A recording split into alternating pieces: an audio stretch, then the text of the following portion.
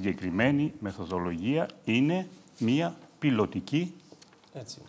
Αυτά μας τα πείτε Δεν εσείς. έχουμε εμπειρία. Δεν έχουμε Θέλω εμπειρία. να μια πάμε. πολύ μιλο- πιλωτική Ακούστε, μορφή κύριε με Γιδαράκο. όλα τα προβλήματα. Τώρα θα μπούμε στο, στο μενού, το κυρίως μενού.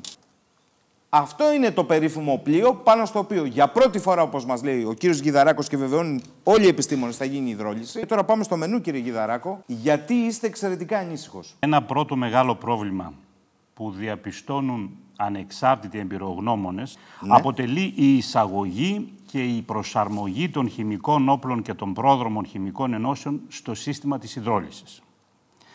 Για το σκοπό αυτό πρέπει να μετακινούνται στο πλοίο σε συνεχή κλίμακα κοντέινα και αρκετά δοχεία να αδειάζουν μάλιστα στον αντιδραστήρα χειρονακτικά. Δεν είναι δικά μου, δεν τα λέω εγώ.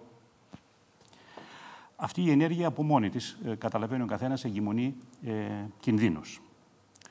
Έπειτα, λαμβάνοντας υπόψη ότι το όλο εγχείρημα εξελίσσεται σε έναν ασταθή θαλάσσιο χώρο, με προσαρμογή και ανάπτυξη αυτής της διαδικασίας σε τρία επίπεδα, με περισσότερα καταστρώματα που έχει το συγκεκριμένο πλοίο που είδαμε, δημιουργεί προβληματισμό και ανησυχία στους ίδιους τους εμπειρογνώμονες.